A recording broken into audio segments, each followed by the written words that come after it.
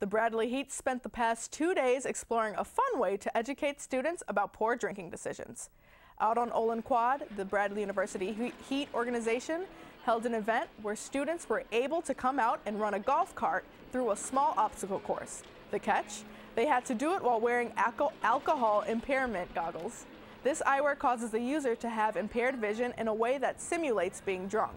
Needless to say, the students that tried navigating the course hit the cones they were trying to avoid very often.